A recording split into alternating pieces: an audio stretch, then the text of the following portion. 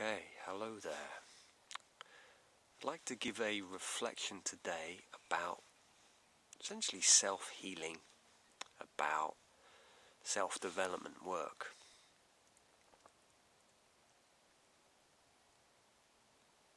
You might be watching this, and this might be at the beginning of your journey.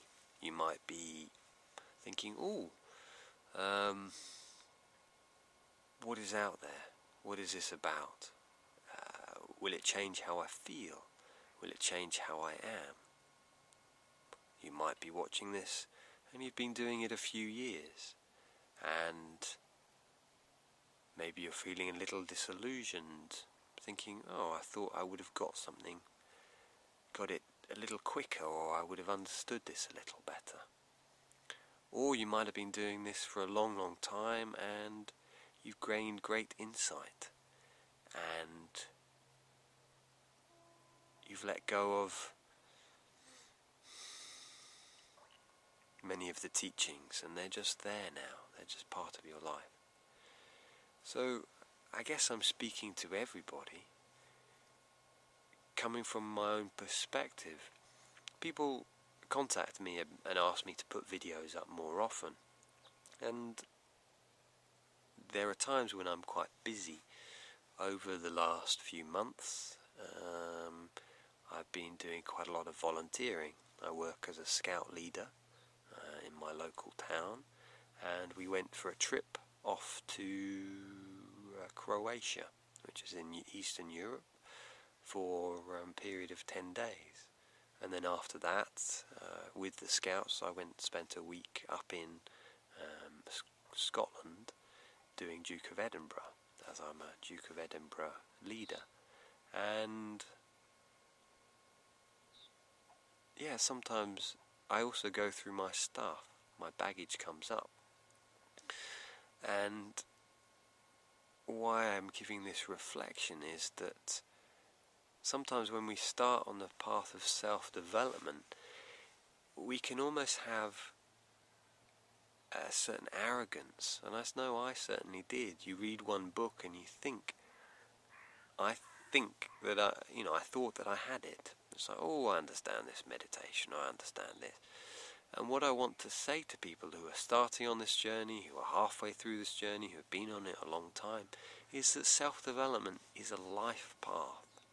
And please understand that when I record these videos, I'm as much talking to myself, connecting with a wise part within me, to talk to the part of me which doesn't always understand. I do go through a lot of stuff um, I have baggage, and I.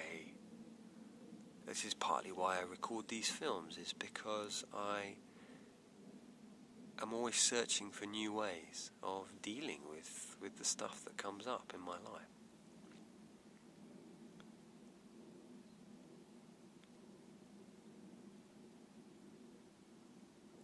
So, quite an important thing to to realize when we're starting on the journey is that we will always be a student in self-development. The teacher Ajahn Chah, and I bring this example up a lot, he talks about um, Western monks that he who used to come and live with him in Thailand in Wat Pa Pong, and he used to say Western monks are a bit like their internal household is a bit like a, a big mansion. Um, once they clean one room out and they work through their baggage on one level, they then have another room to clear out. And I feel that with self development work, we can, when we begin, we can start on the work and we can clear one room out. And it's amazing. It's like, wow, oh, we get really excited and it's really good to have that excitement. And yet, it's also important to realize that we will always have rooms that we keep coming across. So it's like patient perseverance. That was one of the key teachings I had when I lived in, in one of Ajahn Chah's monasteries, is just keeping on going. You just keep going and you keep going and you just keep being patient and you keep keep on keeping on.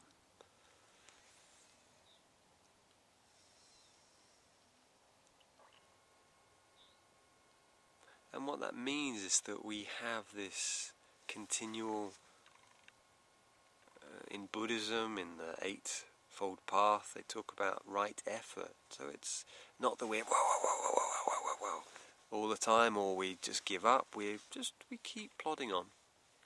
You know, and I like to talk about this, and I give this reflection about um, baby steps. We just keep taking baby steps we might fall over, and I fall over quite often. I make mistakes, and I keep picking myself up, keep using the tools, and I think if I didn't have my stuff, then I wouldn't be able to use the tools. I wouldn't be able to practice using them to see if they work for me. And what works for me, obviously, would be totally different for you. So so that's the first aspect. The first aspect is that self healing, self development is the life path that we're always going to be practicing. And that's a wonderful thing on one level. We're always going to be growing and, and developing. So we're always going to be the student. But the other important aspect that I do talk about is that we are always going to be the teacher our experiences, our life experiences, the path will be completely unique. And just as people resonate with my own life experiences of, um, you know, my own life experiences with I grew up with an alcoholic father and then went to boarding school and I worked in the city in banking and sales and then I, I had a breakdown and I lived in a, I went to Africa for a bit and I lived in a Buddhist monastery uh, and that will resonate with certain people because my experience is totally unique. So, what I'm getting at is that you, I, we will always be teachers as well. We will always have something to teach. Through my own personal experience of life, I can teach you through your own personal experience of life, you can teach others. In this moment, you are a teacher.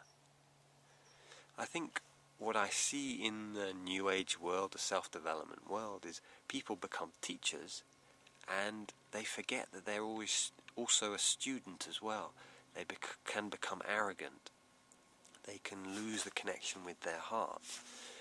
And it's really important to see that balance. That growth, self growth, is an ongoing uh, path. And yet, in that moment, you will always be a teacher. You will have some shining to share.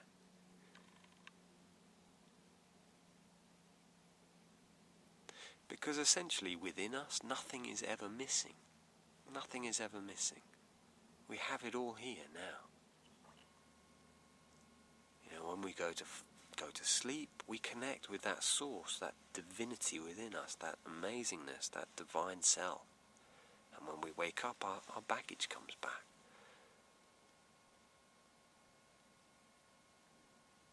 So you have everything that you need in this moment. So you are a teacher. You always were a teacher. From a young age, you were a teacher.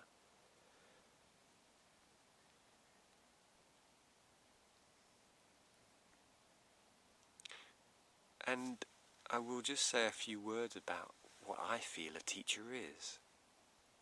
A teacher almost shows by example, by the words they use, by how they are with other people, how they respond rather than react.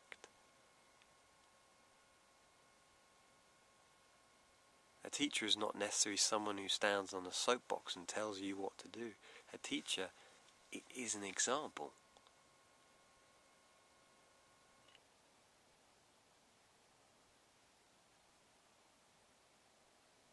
And we're all at different levels. We're all at, and that's perfect for those students who are out there who want to learn. They'll see you and think, wow, I can really learn something from them. I can really learn something from that amazing being over there because you're you. And the more we do the practice, the more we do the meditation, the self development, the more we connect with that true essence of who we really are.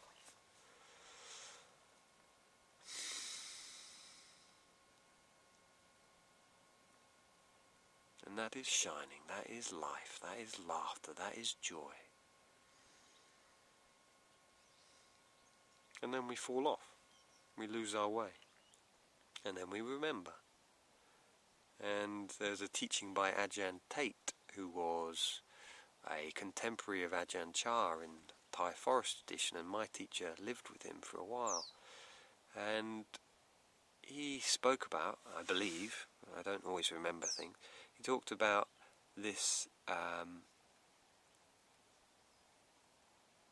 the essence of being awake is that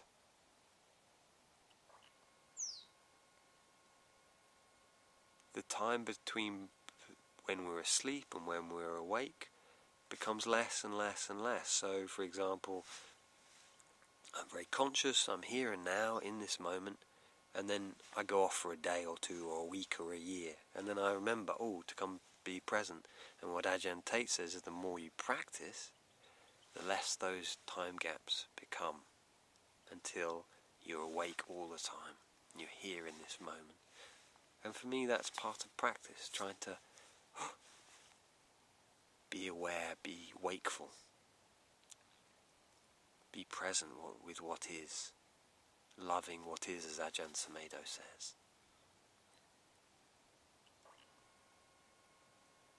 Hmm. So, that is my reflection for today. I hope um, it is of help and of service. That self healing, self development, it's an ongoing journey. You are a student. You will always be a student and you will always be a teacher. So blessings on you. Please keep shining your light. You're so amazing. You're such a beautiful, shiny soul. Keep shining. Keep going.